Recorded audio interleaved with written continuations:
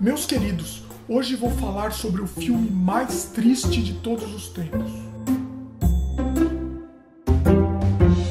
Em português é chamado de O Túmulo dos Vagalumes. Rotaru no Haka é um filme japonês de 1988. Na verdade é uma animação. Em inglês é conhecido como Grave of the Fireflies e é um dos filmes mais tristes de todos os tempos.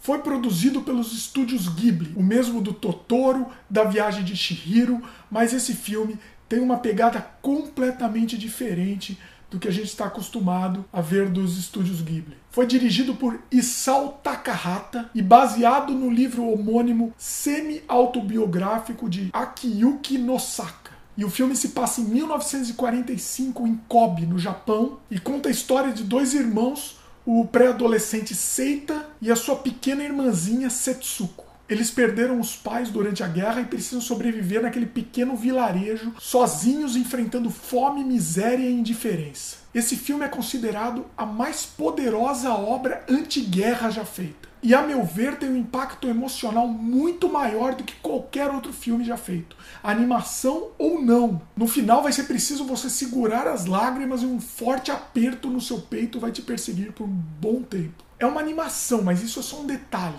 Não faz diferença nenhuma. E não se deixe levar pelo visual cartunesco, porque realmente o impacto emocional desse filme é enorme. Não se engane, essa animação é mais dramática e proporciona uma ligação afetiva tão grande com os personagens. Acho até que maior do que qualquer filme que eu já vi. Eu não vou entrar em detalhes da história, porque vai estragar sua experiência ao assisti-lo. Mas é um filme muito sofrido de assistir. Não pelo ritmo, porque ele é sempre rápido, sempre dinâmico, mas ele é sofrido pela tristeza que ele traz à tona. Não sei onde eu vi esse comentário, mas é perfeito para descrever o filme. O Túmulo dos Vagalumes é o melhor filme que você jamais vai querer assistir novamente.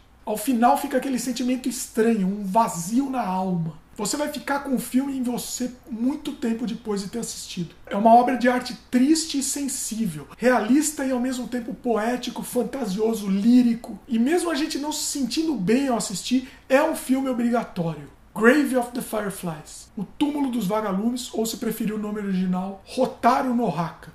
Vale a pena, assistam e comentem depois o que acharam, porque eu tenho certeza que vocês vão gostar, vão se sensibilizar com essa obra. É isso daí. Gostaram do vídeo? Dá um joinha, adiciona os favoritos, comentem, me digam o que vocês acham se eu começar a fazer alguns reviews de filme também no canal, porque é uma coisa interessante também, eu tenho algumas dicas de filmes diferentes que não são tão conhecidos assim, que acho que vale a pena serem assistidos. Se não se inscreveram no canal ainda, se inscrevam para receber as novidades, e é isso daí. Espero que tenham gostado, até a próxima.